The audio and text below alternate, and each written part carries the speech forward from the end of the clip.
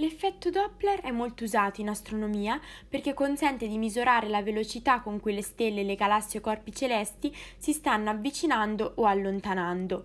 L'uso dell'effetto Doppler si, in astronomia si basa sul fatto che lo spettro elettromagnetico emesso dai corpi celesti non è continuo, ma presenta delle linee chiare o scure, chiamate linee spettrali, a delle frequenze ben definite. L'effetto Doppler però è visibile solo se queste linee spettrali non si trovano in delle determinate frequenze osservate in laboratorio.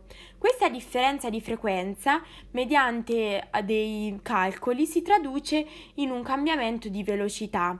Poiché lo spettro del visibile presenta come colori marginali il blu e il rosso, si considera uno spostamento verso il rosso o redshift se eh, lo spettro presenta linee spostate verso lunghezza d'onda maggiori e quindi si, l'oggetto si sta allontanando. Si considera invece uno spostamento verso il blu o blue shift se eh, lo spettro presenta linee spostate verso lunghezze d'onda minori e quindi l'oggetto è in avvicinamento.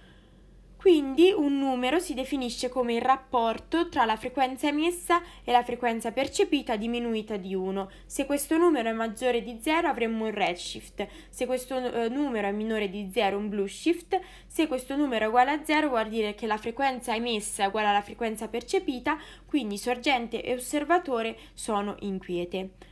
Abbiamo degli esempi dell'effetto Doppler eh, anche in musica, infatti ci sono degli strumenti musicali che lo sfruttano per rendere particolari effetti onomatopeici, come ad esempio il tamburo a frizione che in Romagna è chiamato raganella.